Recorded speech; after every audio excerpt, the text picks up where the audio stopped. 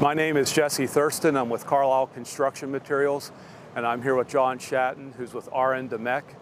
This is a roof they installed about a month ago. They used 060 TPO membrane, and it's a fully adhered roof system.